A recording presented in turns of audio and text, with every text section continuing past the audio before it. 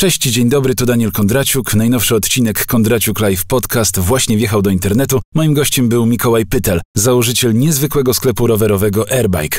To prawdopodobnie ostatni odcinek przed wakacjami. Na stronie kondraciuk.com znajdziecie już sześć wywiadów. Wszystkie gorąco polecam. Mistrz kuchni Adam Molenda, Monika Sierpińska i jej autorski projekt Tylko spróbuj. Joanna Albin opowiada o Comfort Food Studio w Hali Koszyki. Magdalena Rigamonti o wielkiej pasji do dziennikarstwa oraz Jacek Gadzinowski o trendach i tworzeniu w internecie. Ludzie mówią, że dobrze się słucha, więc i ja gorąco polecam. Zostawcie komentarz albo opinię. Z góry za to dziękuję i do usłyszenia.